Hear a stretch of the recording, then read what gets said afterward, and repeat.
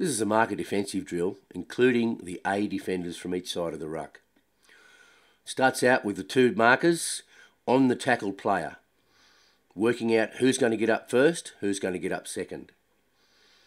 Time they're getting up from the tackled player, you'll see that one goes to second marker, talking to the first marker as they get up.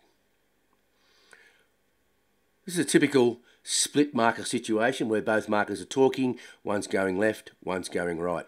You'll see them pointing, they're actually talking to each other as well. It's imperative that both markers don't go the same way.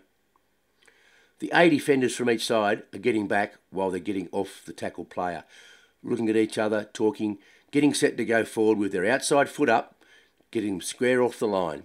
You'll notice as they get up, they're off the line, they're in the boxer stance, arms up, off the line quick, paddling at the mini line they've just formed with the markers.